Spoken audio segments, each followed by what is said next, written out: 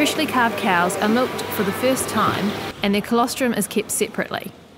From the four sheds on the island, the best quality colostrum is identified and fed to the first day calves. Ah, All here are first day colostrum cows, so we are milking them separate so that we can keep the gold colostrum for the first day cows. You're basically trying to get that day one colostrum. Day one colostrum from these cows here. So that's why they are separate, so we keep them separate and then we test their milk and then it's going for Karen for the cows.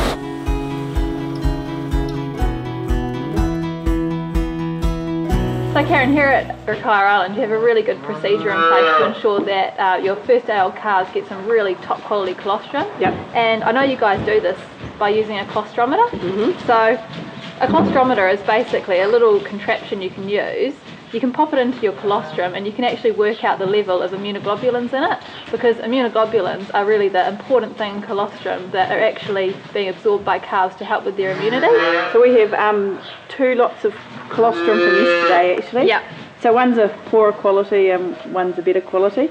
And um, and quite often like the colour's not, you can't tell by just colour alone. Yeah. Um, so so we take a reading on, on everything that's milked on the farm that's day one, we'll take a reading from it. So we'll pour some into a... Cool, so we'll give it a go now. Yeah. So we'll pour that colostrum into there.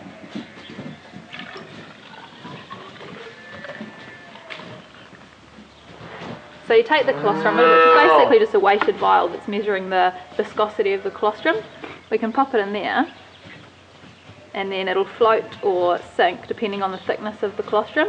And basically what it's measuring is the level of immunoglobulins in there. So a colostrum with a high level of immunoglobulins will be thicker so the colostrometer will float a little bit higher. So from this we can see uh, basically there's a, a scale on the side so green to red if we pop it in and it's in the red zone, we shouldn't really be feeding this to day old calves. Yeah. If it's in the green zone, we can. So this one here we can see is actually not the best quality colostrum, no. and we shouldn't really be feeding this mm. to our day one calves.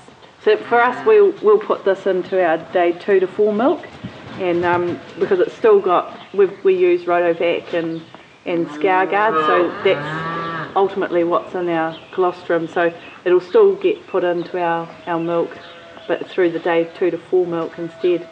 Um, and so we'll just test that other one if you like. Cool.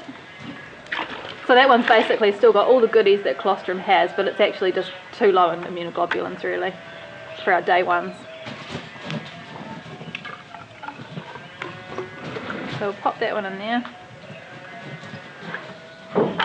Pop in the colostrometer.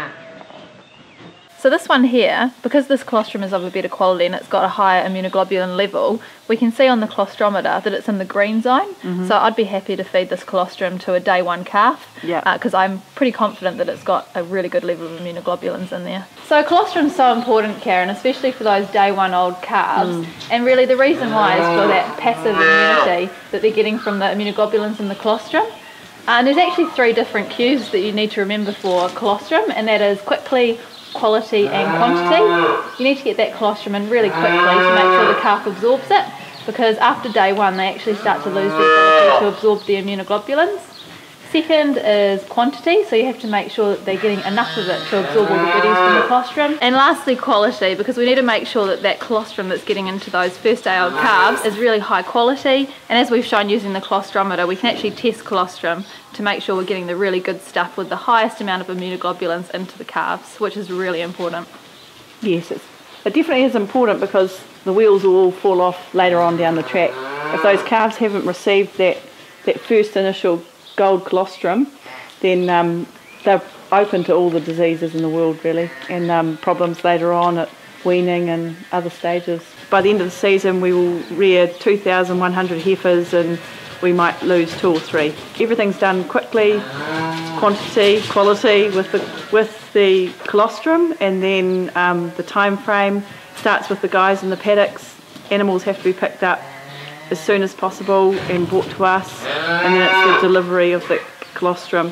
So basically, Karen, you just need to make sure that any calf coming on day one, you've got to assume they've basically had no colostrum. Yes, just to be safe. To be safe, and yeah. to, to, cover all your bases to make sure that, that you are treating that calf as an individual and um, and not as a group and say, oh, well, that one has and that one hasn't. Just treat them all the same. Yeah. Do your basics well.